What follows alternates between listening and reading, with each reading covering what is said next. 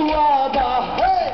Vlada, da li ti kad mene voljela? Hej, Vlada, Vlada, da li ti kad mene voljela? I dozvolite da vam predstavim malu četu iz Sarajeva. Sa moje lijeve strane prvo borac grupe Plavi orkestar,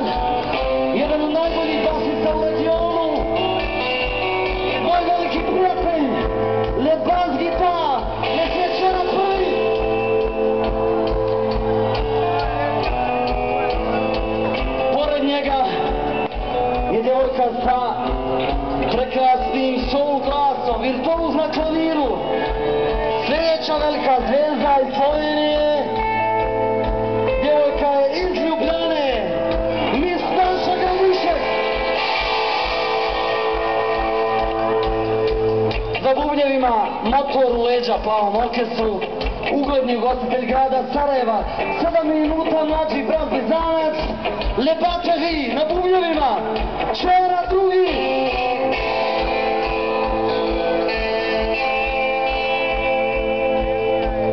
Tamo skroz u čošku, ako vidite, to je naša nova zvijezda, jedna od najvećih imena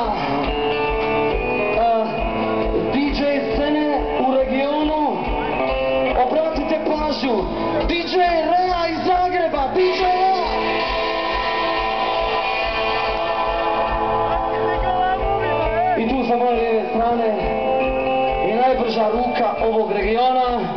To je naš, zapravo najljepši član grupe Boy Orkestar. Djevojke, obratite pažnju. Le solo gitar, gitar solo. Ne.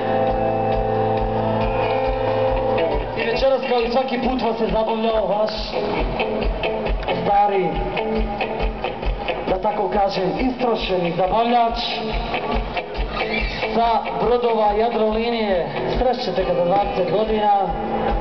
Šta da kažem? Večeras sam se zabavljao pored ostalih i loša prvi grozni.